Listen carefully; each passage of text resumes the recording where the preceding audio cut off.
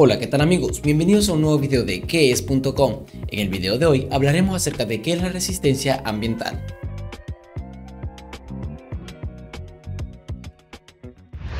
Debe existir un equilibrio entre los distintos tipos de población que interactúan y los recursos disponibles de sus alrededores, ya que por el futuro incierto algunos comportamientos van a determinar si se debe llegar a un esfuerzo límite, en donde el crecimiento base, la capacidad de soporte del ambiente y adaptación de los individuos va a ser imprescindible. Significado de la resistencia ambiental.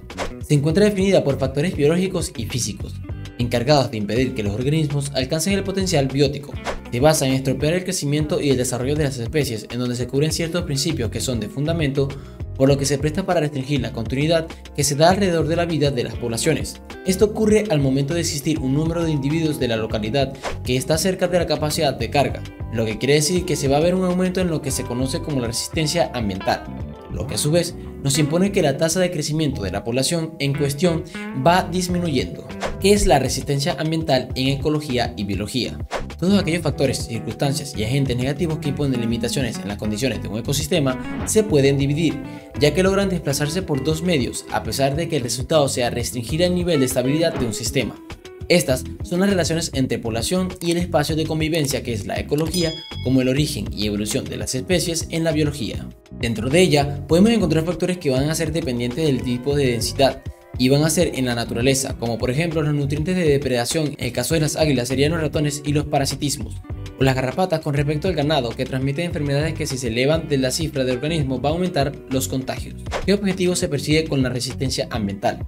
Su fin es impedir que una población pueda llegar al tope de lo que se conoce según potencial biótico, así como regular en lo posible la capacidad reproductiva de la misma de una forma bastante limitada, por lo que mediante diversos recursos e interacciones entre especies es que trabaja para llevar a cabo su finalidad.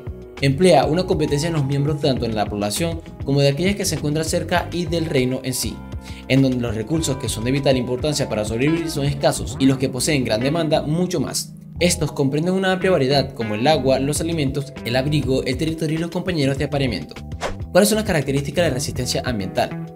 En ellas podemos encontrar una serie de cosas que en conjunto impiden que la población de los organismos crezca sin parar, por lo que atacan primero las posibilidades de reproducción, la disminución de la salud y aumentan la mortalidad, entre las cuales podemos destacar poseer factores bióticos, que son aquellos que se encuentran vivos como depredación, falla de alimento, enfermedades, la competencia que existe entre los organismos.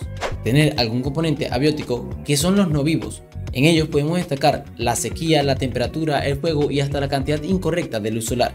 El porcentaje de que también logra sobrevivir un grupo es esencial, así como la adaptación al medio ambiente. Si el video te sirvió de ayuda, déjanos un fuerte like. Además, si tienes otro tema interesante para traer a este canal, déjanos saber en la caja de comentarios. Adiós.